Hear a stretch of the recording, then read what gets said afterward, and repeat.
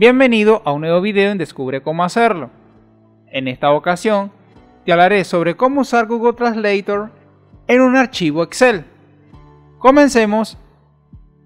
No puedo comenzar sin antes mencionarte que todo lo que te hablaré en este video podrás encontrarlo dentro de este artículo. Allí se encuentra mucha más información. Te invito a que ingreses.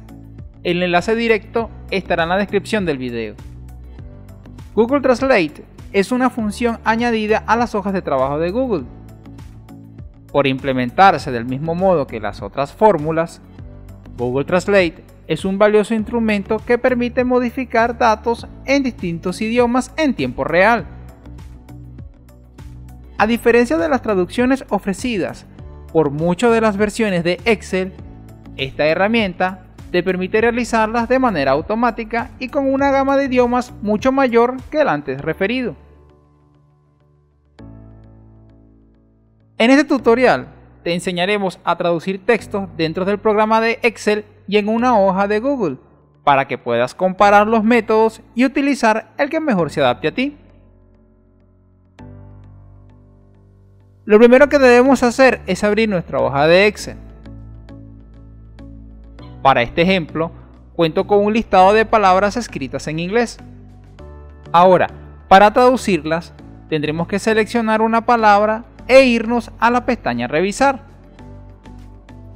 Allí iremos hasta la sección Idiomas y le daremos a Traducir.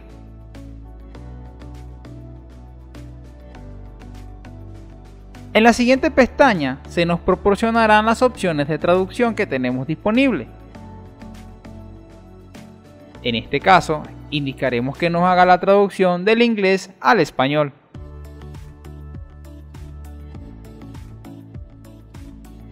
Al darle a la flecha de color verde, nos mostrará la traducción que tenemos disponible.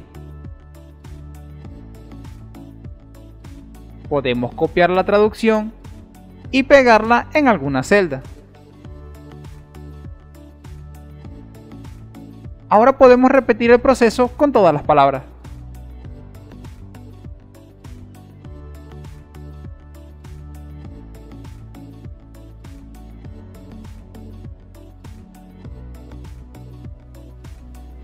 El otro modo de hacerlo es usando un documento de Google. He copiado la misma lista de palabras dentro de una hoja de cálculo. En la celda de nuestra preferencia llamaremos a la función Google Translate. Introducimos como argumento el texto a traducir, le damos a Enter y listo, ya tenemos nuestro texto traducido. Si queremos traducir toda la lista, solo bastará con arrastrar la función. Y esto ha sido todo. En el caso de que tengas alguna duda, déjala en la caja de comentarios. Y no está de más decir que si te ha gustado el video, puedes suscribirte al canal y activar la campana para alertarte de nuevo contenido.